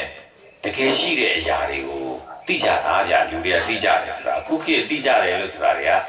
တကယ်လူတွေသိကြတာ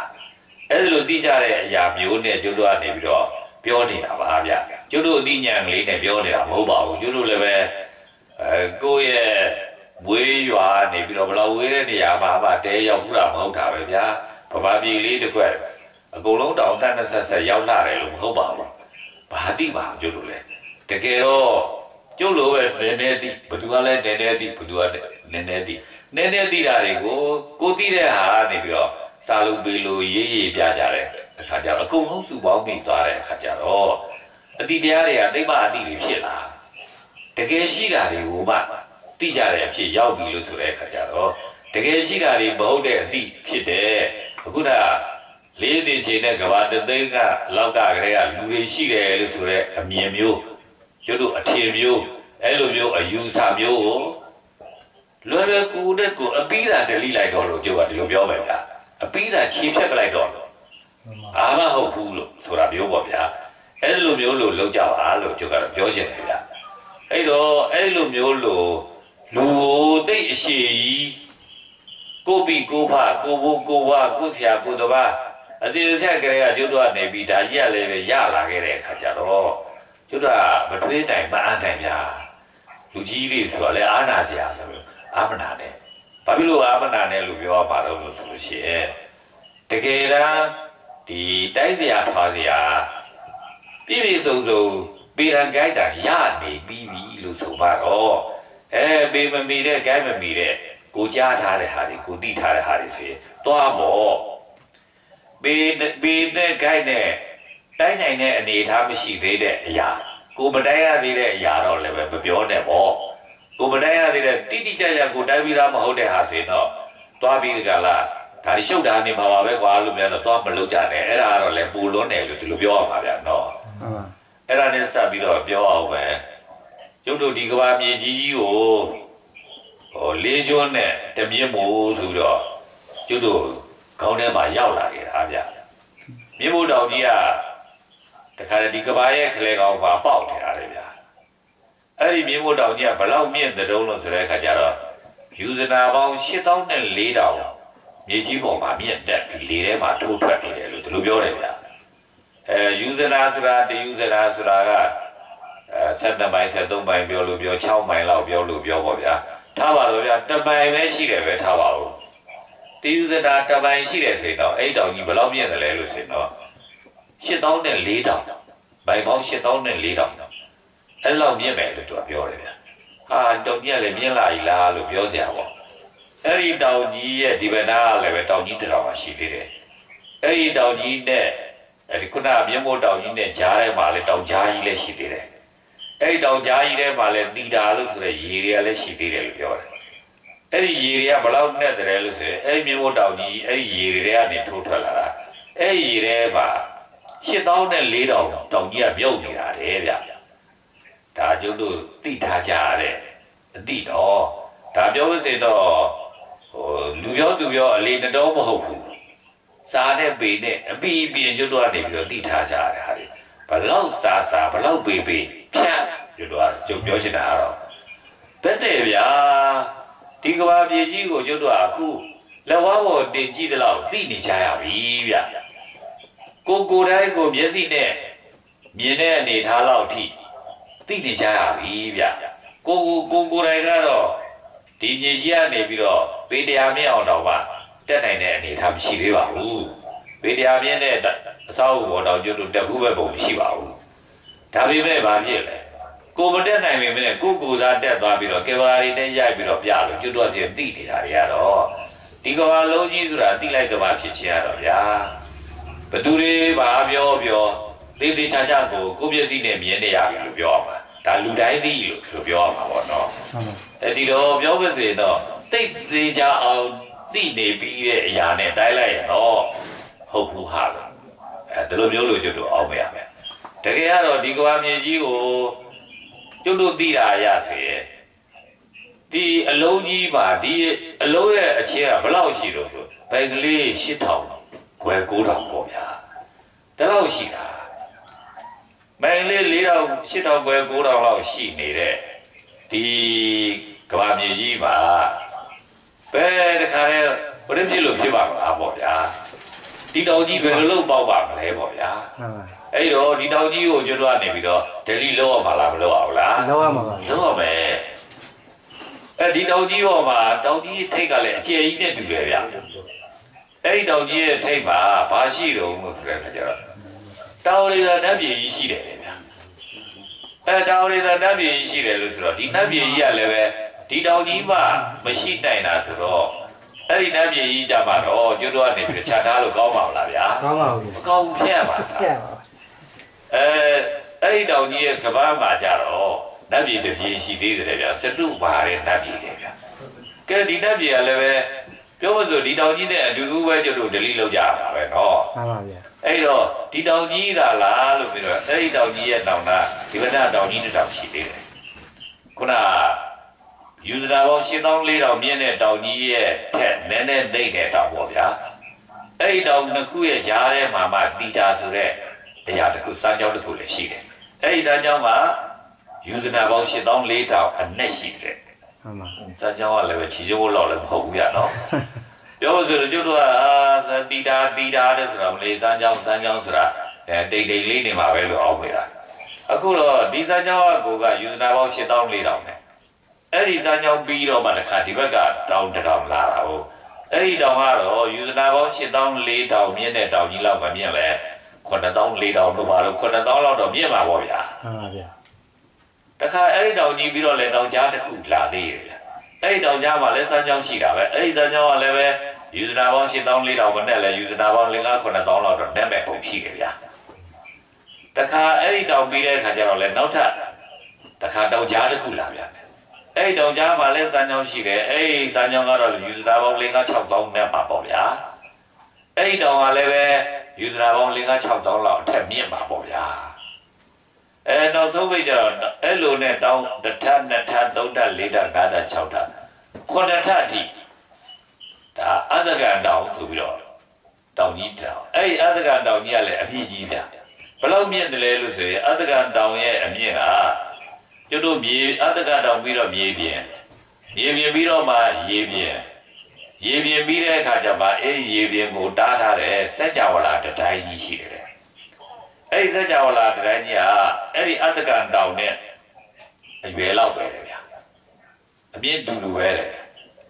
ဟိုဆိုလိုတာကတော့ဒါအခုဖြည်းဖြည်းနဲ့အေးအေးစီစီပြောနေတာကကျွတ်တို့ဒါဖျက်ရမယ်ဟာဖြစ်လို့နော်မှန်ပါဘာဖြစ်လို့ဖျက်ရမှာတော့လို့ဆိုလို့ရှိရင်ဒီကဘာလုံးကြီးကလေးဘိုင်ကလေး8000 9000 ဒီ8000 9000ပေါ်မှာခုနတောင်နေကဲဘယ်လိုလုပ်နေပါတော့ဗျာဒါမှန်ပါဗျာအဲဆိုလိုတာတော့ပြအဲ့ဒီလိုမျိုးလို့ဖြစ်တာဖြစ်တဲ့အတွက်ခင်ဗျားတို့လည်းအသက်ကြီးကြပြီနော်မှန်ပါအသက်ကြီးကြပြီဖြစ်တဲ့အတွက်ခင်ဗျားတို့လူကြီးတွေလို့ပြောရပါဗျာလူကြီးလုပ်တဲ့သူကတကယ်ကိုကိုနောက်ကလူတွေပေါ်မှာမမမမအမှန်ကန်ကိုရပ်ပြရမယ်ဗျာမှန်ပါရိတ်တိရိတ်ထိုးတဲ့တခါတည်း ဟိုလိုလိုဒီလိုလိုနဲ့ရပ်ပြလို့မတော်ဘူးဗျာမှန်ပါမဟုတ်တာကိုမဟုတ်ဘူးလို့အပြတ်သားရပ်ပြရမယ်ဗျအဲဟုတ်တာကိုဆိုရင်လည်းဟုတ်တယ်လို့ဆိုတာအပြတ်သားရပ်ပြရမယ်ဗျကျုပ်တို့မျက်စိနဲ့မမြင်နိုင်တာမလို့မသိနိုင်ဘူးလို့မလုပ်နဲ့ဟုတ်လို့ဆိုတော့အုံနောက်နဲ့သိရမှာရှိတယ်ဒီအုံနောက်ကလည်းပဲဘာမှမရှိတဲ့ဟာတွေသိလို့မရဘူးတကယ်ရှိတဲ့ဟာတွေကိုသူများကနေပြီးတော့တခါတည်းတင်ပြထားပြီလို့ဆိုရင်တော့ အဲကျုပ်တို့အုံနောက်ထဲထည့်လိုက်ရင်ကျုပ်တို့သိတာဖြစ်သွားပြီပေါ့ဗျာမှန်ပါအဲ့ဒါကြောင့်မလို့ကျုပ်တို့ကတိတ်ပီပီတတရပ်ပြရမယ်ဗျအဲ့တော့ရှေးကအဲကျုပ်တို့အထက်ကိုရှေးခေါ်တာပေါ့နော်ရှေးကလူတွေကိုတိတ်ပညာရှိလို့ကျုပ်တို့မှတ်ကြရင်တော့ပါမလားဗျတော့ပါဘူးဗျာဘာဖြစ်လို့လဲလို့ဆိုလို့ရှိရင်အခုနကပြောခဲ့တဲ့မြင်းမို့တောင်ကြီးတွေနဲ့အခုနကပြောခဲ့တဲ့တခါတည်း40ချိန်နဲ့ကဘာတသိန်းလောက်ကလေးက လူတွေရှိနေခဲ့တယ်လို့ဆိုတဲ့အနေအထားတွေနဲ့ပြောတာတွေဟာလူအသိနဲ့တားရလာဗျမတန်ပါဘူးဗျာလူအသိနဲ့မတန်တာဖြစ်တဲ့အတွက်ကျွတ်တို့လူတွေအဲ့လိုအသိနဲ့မတန်တဲ့အသိတွေကိုခေါင်းထဲထည့်ထားတဲ့အခါကျခေါင်းလေးနေတယ်မှန်ပါခေါင်းလေးနေတဲ့အခါကျဘာမှသိပ်မလုပ်ချင်တော့ဘူးဘာမှလည်းသိပ်မလုပ်နိုင်တော့ဘူးအဲ့ဒီအကြောင်းအရာတွေကိုတွက်တွက်တွက်တွက်ပြီးတကလားအဲ့ဒီအကြောင်းအရာတွေနောက်ပဲ သူကလိုက်နေတဲ့ဟာလို့ဖြစ်သွားရပြီပေါ့နော်မှန်ပါဒါကြောင့်ကျုပ်တို့ခေါင်းလေးတယ်ဆိုတာဒီတိုင်းကြီးတိုင်းခေါင်းပေါ်မှာတစ်စုံတစ်ခုကြီးရွက်ထားလို့လေးနီကားမျိုးလေးတာမဟုတ်ပါဘူးတွေးဖို့ခေါ်ဖို့မျှော်ဖို့မြင်ဖို့အပိုင်းဆိုင်ရာတွေပါကျုပ်တို့မလွတ်လပ်ဘူးမှန်ပါမှန်အဲ့ဒါတွေကနေပြီးတော့ဖြီးစည်းထားတဲ့အတွက်ဒါကြောင့်မလို့ဒါတွေကို delete လုပ်ပြမယ်ပါဗျာဒါခင်ဗျားတို့ကျုပ်အခုပြောနေတဲ့စကားကိုကျုပ်တို့ရဲ့တပည့်တစ်ပန်းနေအဲတာဝကတွေအားလုံးကြားနေကြမှာပါဗျာကြားနေကြတဲ့သူတွေဟာ ဒါခင်ဗျားတို့ခေါင်းထဲကနေပြီးတော့ဒါတွေကိုကျုပ်ရှင်းပြပေးနေတာလို့ဒီလိုပြောရမယ်ဗျာကျုပ်ဟာခင်ဗျားတို့ရဲ့ခေါင်းဆောင်ပဲနော်မှန်ပါဗျာအဲခင်ဗျားတို့ရဲ့ခေါင်းဆောင်ဖြစ်တဲ့အတွက်ခင်ဗျားတို့ခေါင်းဆောင်ကနေပြီးတော့ဘာတွေရှင်းပေးသွားတယ်လို့ဆိုတာခင်ဗျားတို့ပြီးပြီးသားသားသိပြီးတကလားနောက်ထပ်ကိုအတက်ကိုမပေါက်ပါစေနဲ့တော့ဗျာမှန်ပါဒီမြင်းမိုးတောင်ကြီးတွေနဲ့အဲဒီခုနကပြောခဲ့တဲ့လေးသိချင်းနဲ့ကဘာတသိန်းကာလလောက်ကလေးကလူတွေရှိတယ်ဆိုတာမျိုးပေါ့ဗျာမှန်ပါ ဘုရားရှိရင်လူရှိရမှာဝါလူရှိမှဘုရားလည်းရှိလို့ဖြစ်ပါဦးမှန်ပါဘုရားတစုနဲ့တစုပွင့်တယ်ဆိုတာအတိတ်ချေကဘူးဗျာကြားတာမှန်ပါကျုပ်တို့ဂေါရဘဘုရားရဲ့ရှိရကတ္တဗဘုရားဆိုတာပွင့်သေးဆိုပဲဗျာမှန်ပါဗျာအဲ့ဒီကတ္တဗဘုရားလည်းဘယ်တော့ပွင့်တာတုံးလို့မေးရင်အဲကတ္တဗဘုရားပွင့်ပြီးတဲ့နောက်ကျတော့အဲသူထောင်သားလောက်မှပွင့်တာဖြစ်တယ်ဗျသူကနေပြီးတော့ယာရန်လောက်ဆုပ်အဲဆယ်ရန်လောက်ဆုပ် ဆုတ်ပြီးအဲ့ဒီကနေမှနောက်တစ်ခါ10တန်းလောက်အဲရာတန်းလောက်ထိပြန်တက်နောက်တစ်ခါထောင်တန်းလောက်ထိတက်တောင်းတန်းသိန်းတန်းတန်းတန်းဂရေတန်းအတင်ချီတန်းထိတက်တက်တန်းနေရလူတွေအဲ့လိုလို့ကျုပ်တို့သိတယ်ဗျအဲ့ဒီလိုတွေတက်ပြီးတော့မှတစ်ခါအတင်ချီတန်းနေပြန်ဆုတ်အတင်ချီကနေပြီးတော့မှတောခန္တိကကထာကမဟာကထာကပြန်ပြန်ဆုတ်နောက်ဆုံးကြဂရေတန်းရောက်နောက်တန်းတန်းရောက်သိန်းတန်းရောက်နောက်ကျုပ်တို့ယာတန်းကိုရောက်တဲ့အချိန်မှာကျုပ်တို့ဂေါရဘာဖျားပွဲထား ကြည့်ပါဦးတော့ဗျာကျွတ်တို့ဂေါရမဘုရားနဲ့ဘောကတ္တဗဘုရားနဲ့ကျွတ်တို့ဂေါရမဘုရားကြားထဲမှာကွာနှစ်ပေါင်းကတော့အတင်ချေပေါင်းအတင်ချေမကချားတယ်မှန်ပါဒါဆိုရင်ကျွတ်တို့လူတွေသိဖို့ကောင်းပါမလားကောင်းပါဗျာကျွတ်တို့လူတွေပြောဖို့ကောင်းပါမလားကျွတ်တို့တကားတွေကဒါစဉ်းစားရမယ်နော်မှန်ပါဗျာအဲ့တော့အဲ့လိုမျိုးလို့စကားမဟုတ်တဲ့စကားတွေကိုကျွတ်တို့ကနေထမ်းထားရတာဟာတော့ဖြင့်ကျွတ်တို့ဘိုးတွေဘေဘီတွေပါအစင်အဆက်အများကြီး အဲ့ဒါဒီနဲ့ပဲကျွတ်တို့တွေရတော့ဖြင့်လေးပင်ပြီးတကလားမလုံနိုင်မရှက်နိုင်ဖြစ်ခဲ့ကြရတယ်ဗျာအဲ့တော့အဲ့လိုမျိုးလို့ကျွတ်တို့ဖြင့်မတွေးကောင်းတော့ပါဘူးဘယ်ကတ္တဗလည်းမတွေးနဲ့ဘယ်ကကုသလည်းမတွေးနဲ့ဘယ်ကောနာကိုလည်းမတွေးနဲ့ဟိုးနှကြိရှိသူတော်ဘုရားတွေ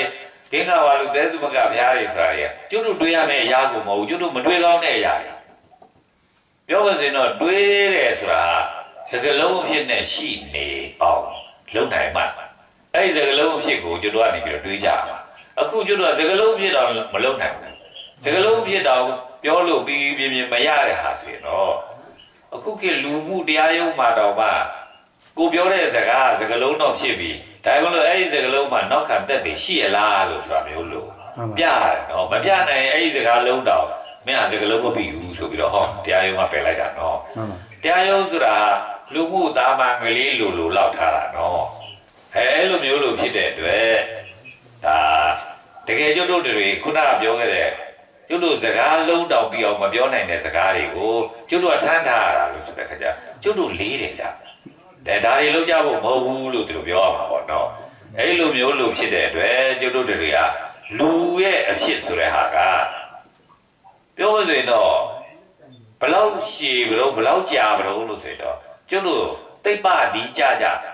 လေးလာကြတာပဲဗျလူတွေမှန်ပါလူတွေလေးလာတဲ့အခါမှာအစောဆုံးလူရဲ့ရုပ်ကျွင်းအဖြစ်နဲ့တွေ့ရတာဆိုရင်နှစ်တစ်သားလောက်ပဲရှိသေးတယ်လို့ဒီလိုသိရတယ်ဗျမှန်ပါအဲနှစ်တစ်သားလောက်တွေ့တာတော့တိတ်မကြသေးဘူးလို့ပြောကြတယ်နော်ကျွတ်တို့ဗမာပြည်မှာတော့ဟိုပုံတောင်အရပါလူဖြစ်လူလူမေယိုးတွေတွေ့တယ်လို့ဆိုတာမျိုးလို့လို့ဆွဲအားနေပြီးတော့ ဦးနေဝင်းခေတ်လောက်စီတော့ကလူစမြန်မာကလို့ဆိုတဲ့ဟာမျိုးလို့တော့သူတို့လှုပ်သွားခြင်းတယ်ဗျမှန်ပါအဲအခုတော့ကင်ညာနိုင်ငံမှာအဲလူတွေ့လို့မလို့လူတွေတွေ့လို့မလို့ဒါကလူစကင်ညာကလို့တော့ပြောတဲ့အဖြစ်ရောက်ပြီပေါ့ဆိုလိုတာကတော့တကယ်လူဘီဘီသားသားဟာနှစ်တစ်တန်းနှစ်တန်းထက်မပူသေးဘူးလို့ဒီလိုပြောရမှာပေါ့နော်ဒါကတော့တိတ်ကိုမခံကျင်တော့အောင်ကိုနဲလွန်းတယ်လို့ပြောရမလို့ရှိတာပါနော် ကျုပ်တို့ကနှစ်ပေါင်းသိန်းတန်းကတိအတင်းချင်းအတင်းချင်းမှခါတဲ့အတင်းချင်းပေါင်းများစွာကျတို့ကအဲ့လိုမျိုးလို့လူရဲ့တမိုင်းကိုတိထားရနေပြီးတော့တမိုင်းမဟုတ်တဲ့တမိုင်းဘယ်သူမှတက်တဲ့မခံနိုင်တဲ့တမိုင်းတတ်တမိုင်းမဟုတ်တဲ့တမိုင်းပဲဗျတကယ်လူကိုတက်တဲ့ခံနိုင်တာကတော့နှစ်တစ်သားလောက်ကလူရုပ်ကျွမ်းတစ်ခုကျတို့ပြနိုင်တဲ့အတွက်တက်တဲ့ခံနိုင်တယ်ပြောလို့ဆိုရင်တော့လူအဲ့လောက်ပဲကျတို့ ကိုယ့်မျက်စိနဲ့မြင်နိုင်တယ်လို့ပညာရှင်တွေကမျက်စိနဲ့မြင်တဲ့ဟာကိုထုတ်ပြီးပြတဲ့ဟာလောက်ပဲကျွတ်တို့ကလူလုံးပတ်ကြရင်တင့်မြတ်တာပေါ့ဗျာမှန်ပါအဲ့တော့လူသမိုင်းဟာတစ်တသားလောက်ပဲရှိသေးတယ်ဒီမှာဒီလိုပြောရမယ်နော်အဲ့နှစ်တသားလောက်ပဲရှိသေးတော့အဲ့နှစ်တသားလောက်ပဲရှိတဲ့လူတွေရောတကယ်ရင်ကျေးတဲ့လူတွေလားလို့မေးတော့သူလဲသူဟာနဲ့သူနေကိုလဲကိုဟာနဲ့ကိုနေနေနေကြမှာပေါ့ဗျာဆိုလိုတာတော့ခုခေတ်တော့ထဲမှာအကောင်ပလောင်နေလို့ပေါ့ ကြက်တွေတို့ကက်တွေတို့ဝက်တွေတို့အဆက်ရှိတွေဒီလိုကောင်လောင်နေဟာသူတို့ဟာသူတို့နေနေကြတယ်သူတို့ဟာသာသူတို့ပဲအသက်မွေးနေကြတယ်ဟိုတစ်ပင်တွေဟာအပြစ်ကနေပြီးသူတို့ဘာသာသူတို့ရေရှာတော့သူတို့ဘာသူတို့ပြောတာရှာစားအဲ့ဒါလိုပေါ့လိုပေါ့ဗျာခုနကြက်တွေနဲ့တွေလိုလိုပဲလူတွေလည်းပဲအဲ့လိုပဲနေနေရရနေပြီးတော့မှတုံးတဲ့တူပေါင်းဆက်ပြီးတကလားသူတို့အလုံးလုံးလာကြတယ်အဲ့ဒါဘယ်လောက်လောက်ကြာပါလဲဆိုတော့ လွန်ခဲ့တဲ့နှစ်တစ်သောင်းကျော်လောက်ကမှလို့ကျွန်တော်ဒီလိုပြောချင်တယ်လူရင်ကျေးမှုကိုနှစ်တစ်သောင်းထက်စောပြီးအစအနဘယ်မှမရှာလို့မတွေ့ဘူးဟုတ်ပါဘယ်မှာမှရှာမတွေ့ဘူးကဘာပါတိုက်ကြီး၄တိုက်ရှိတယ်ဒီတိုက်ကြီး၄တိုက်လုံးမှာဘယ်မှာမှနေတစ်တောင်းလောက်ထက်ကျော်တဲ့လူရဲ့အစအနမတွေ့ဘူးအဲ့လိုမတွေ့တာကိုထောက်ကြည့်ကြဖြင့်အော်လူတွေတုံးတဲ့တူတကယ်ယဉ်ကျေးတယ်လို့ဆိုတော့တူရဲ့လုပ်ငန်းကဲလိုအပ်တဲ့ဟာတွေကို ကျန်တဲ့ဥယျာဉ်တွေကနေပြီးတော့လောက်ကင်ပေးပြီးတကလားရှင်းသာအောင်လှုပ်ဆောင်နေတယ်လို့ဆိုတာကိုဒါပြောလို့ဆိုရင်တော့နှစ်တစ်တောင်းလောက်ကပဲရှိသေးတယ်လို့ဒီလိုပြောရမှာပါဗျာဒီတော့နှစ်တစ်တောင်းဆိုတာကတော့ကျုပ်တို့တိတ်မဝေးတော့ဘူးဗျာကျုပ်တို့ဗုဒ္ဓဘုရားကနှစ်2500လောက်ရှိပြီအဲ့ဒါတစ်ဆပြန်လိုက်တော့ဟိန္ဒူဘာသာပေါ်ပြီလို့အဲ့ဒီဟိန္ဒူဘာသာပေါ်တာကိုတစ်ဆပြန်လိုက်လို့ရှိရင် ကျုပ်တို့လူရင်ကျေးမှုစတယ်လို့ပြောရမှာပေါ့ဟုတ်ပါအဲ့ဒီလူရင်ကျေးမှုစတဲ့အချိန်တော့ဟာဘယ်လိုမှဒီဘာသာတရားတွေမပေါ်သေးဘူးဗျာအဲ့ဒီဘာသာတရားတွေမပေါ်သေးဘဲနဲ့ဘာပေါ်တဲ့တုံးလို့ဆိုတဲ့ခါကျတရားပေါ်ပြီဗျာဟုတ်ပါတရားပေါ်ပြီလို့ဆိုတာဘာဖြစ်လို့တရားပေါ်ရတာတုံးလို့ပေးရဲ့လူတွေကတိုးတက်လာတာကိုမြဝထင်ထင်တွေ့လာကြတယ်အဲ့ဒီလိုတိုးတက်လာတာကိုကောက်ချက်ချလိုက်တဲ့အခါကျတော့တို့ ရည်ကြီးပြီးပေါင်းစည်းကြလို့ဟာပေါင်းစည်းမှုတဲ့တို့ယဉ်ကျေးကြလို့ဒါတို့တိုးတက်တာဖြစ်တယ်လို့လူတွေသိကြတယ်ဒါလို့ဆိုတော့အဲ့ဒီပေါင်းစည်းမှုနဲ့ယဉ်ကျေးတဲ့ယဉ်ကျေးမှုဟာတို့ပြတ်သွားခံရတော့မကြိုက်ဘူးပြတ်သွားခံရရင်တော့ဖြင့်တို့ယဉ်ကျေးမှုပြတ်သွားရင်တော့တို့လူတွေပါတိုးတက်မှုလည်းပဲဆုံးယုတ်ပြီးတော့ငโกနေတိုင်းပဲဂျန်တဲ့သတ္တဝါတွေလိုပဲအလားတူဖြစ်သွားလိမ့်မယ်ဥပမာမြောက်တွေတို့လိုပေါ့နော်ဖြစ်သွားလိမ့်မယ် သူတို့နဲ့မြောက်တွေနဲ့ကျွတ်တို့နဲ့ဆိုရင်ခြေချောင်းတွေလက်ချောင်းတွေနဲ့မျက်နှာသွေးပြင်းအနေထားတွေကိုလက်ဟပ်ပန်တွေမကွာလာဘူးလို့ပြောရမှာဗျာနော်ဟုတ်ပါမကွာလာဘူးလို့ပြောရမှာဟုတ်ပါအဲဒီလိုမျိုးလို့ဖြစ်တာဆိုတော့တို့အဲ့ဒီစီကိုပြန်ရောက်သွားလိမ့်မယ်အဲ့ဒီစီပြန်ရောက်မသွားအောင်ဆိုတာကတော့တို့တယောက်နဲ့တယောက်တွဲမသွားစေနိုင်တဲ့တဲထားတဲ့ဝက်တော့ဆိုတဲထားကြတာပေါ့နော်ဟုတ်ပါကွဲမသွားစေနိုင်တဲ့တဲထားတဲ့ ချုပ်ပြေးထားတဲ့အရာတစ်ခုတို့လုံးကြပါဆိုပြီးတကလားသူတို့လူတွေစဉ်းစားကြတယ်ဗျအဲ့ဒီလိုလူတွေစဉ်းစားတာကိုဒါသတ်မှတ်ကြတယ်ဗျဘယ်ဟာဆိုရင်ကွဲသွားစေနိုင်တယ်လဲအဲဘယ်ဟာဆိုရင်ပြဲသွားစေနိုင်တယ်လဲဘယ်ဟာဆိုရင်တယောက်နဲ့တယောက်တခါလေဝေးပြီးတော့သူ့နေရာသူနေသူ့ဟာသူစားသူ့ဟာသူဝတ်အဲတို့လဲတို့ဟာတို့နေအဲ့လိုဆိုရင်တော့ကွဲသွားကြပါတော့အဲ့ဒါဘာတွေလဲလို့ဆိုတော့တက ယ်တော့တဘာဝတရားတွေဗျအဲ့ဒါဟုတ်ပါဗျာဥပမာတခုပဲလူဟာအဲသူသူသွားနေတဲ့လမ်းကြောင်းကိုတစ်ဖက်ကနေပြီးတော့စီးစီးဆိုးဆိုးနဲ့လောက်တယ်လို့ဆိုလို့ရှိရဲ့သူစိတ်ဆုံးမှာပေါ့သူစိတ်ပါတာကိုလူမှာစိတ်ပါတယ်စိတ်ပါတော့သူ့ကိုနှောက်ယှက်ပေးတယ်ဆိုရင်သူစိတ်ဆုံးမှာပေါ့သူစိတ်ဆိုးရင်အဲ့ဒီလူကိုခြေပြစ်ချင်မှာပေါ့ဟုတ်ပါဗျာတပ်ပြစ်ချင်မှာပေါ့ဩအဲ့ဒါကတဘာဝကြတယ်ဗျာဟုတ်ပါ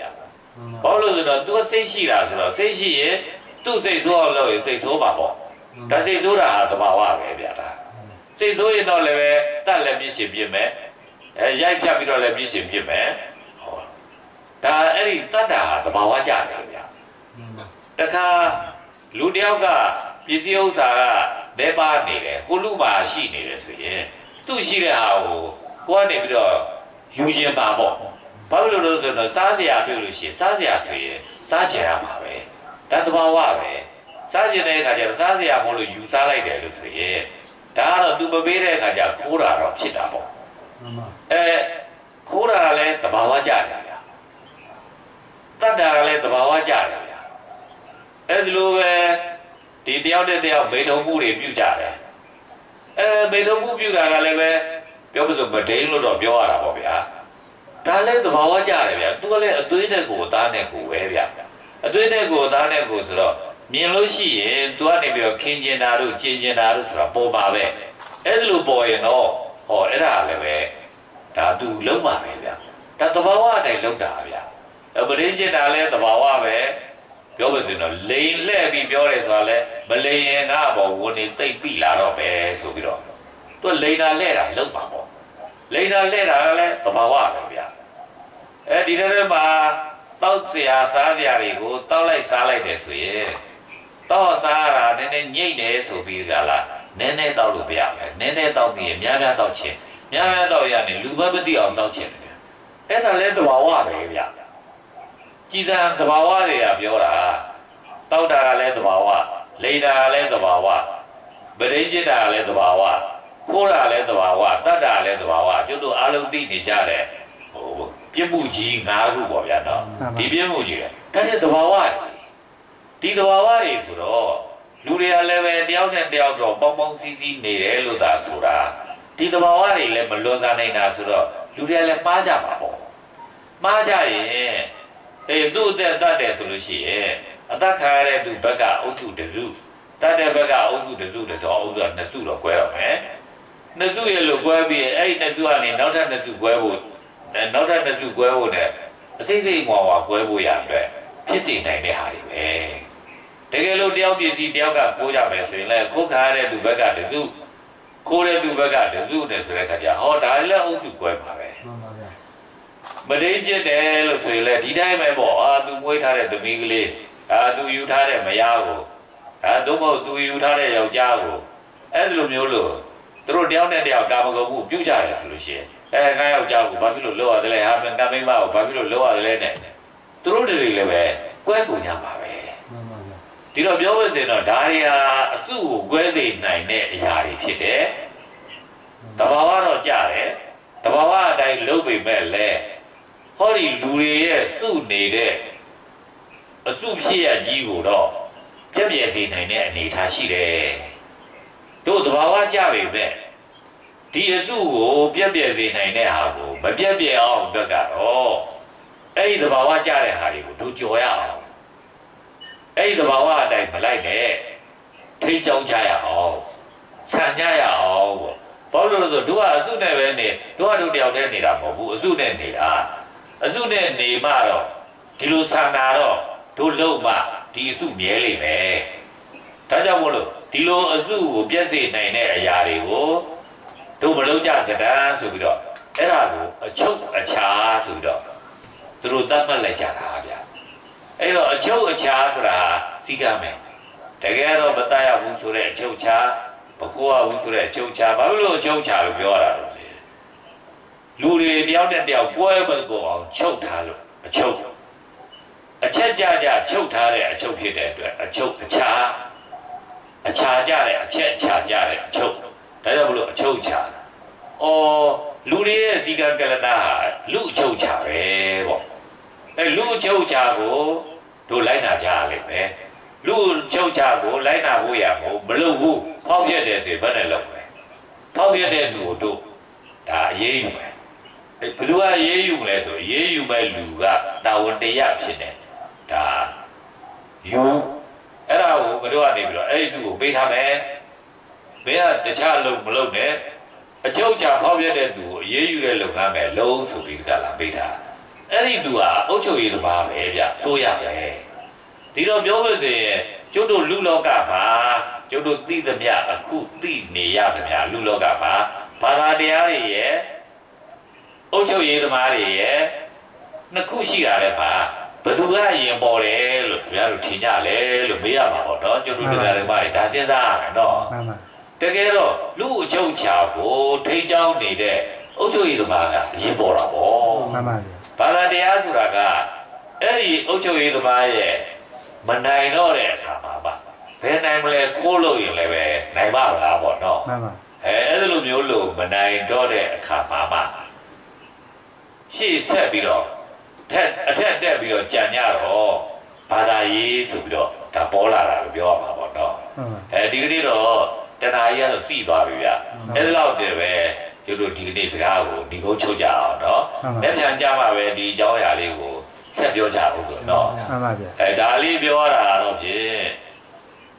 ကျုပ်ရဲ့ရင်ထဲမှာတော့အရသာရှိတယ်ဗျမှန်ပါဗျာအရသာရှိတယ်လို့ဆိုတာကတကယ်တမ်းဒီမှန်ကန်လွန်နေတဲ့မှန်ကန်ပေမဲ့လို့လည်းပဲမှန်ကန်တယ်လို့ဆိုတာတော့မသိရတော့အောင်ဒီမိန်နေတဲ့မှန်ကန်ချက်ကို တကယ်ဒါအမှန်ကန်အစ်စ်ကလေးပါဆိုပြီးပေါ်ပြရတဲ့အတွက်ကျုပ်ရင်ထဲမှာအရသာရှိတာလို့ဒီလိုပြောကြပြီနော်မှန်ပါဗျာအဲ့တော့ကျုပ်ခုပြောတာကိုကြားကြတဲ့သူတွေလည်းပဲကျုပ်နဲ့ထပ်တူအာဒါမိန်နေတဲ့အမှန်ကန်တရားကြီးဒီအရင်ကြတဲ့အမှန်ကန်တရားကြီးကိုအခုလိုမျိုးလို့လင်းနေအောင်ဖော်ပြတာကိုကြားလို့ဘယ်သူလည်းပဲဒါနှစ်သိမ့်နိုင်ကြတယ်ဝမ်းသာနိုင်ကြတယ်လို့ဆိုတာ ဖြစ်နိုင်ကြပါစေလို့ကျုပ်ကပြောတော့ဇာတာပြုတယ်ဗျာနော်ဗျာအဲဒါလေးကိုဝမ်းသာနိုင်ကြတယ်ဆိုရင်သုံးချိန်လောက်ဓာတုခေါ်ပြီးတော့ပဲဒီကိုချုပ်ကြအောင်နော်မှန်ပါဗျာအာဒုအာဒုအာဒုပါ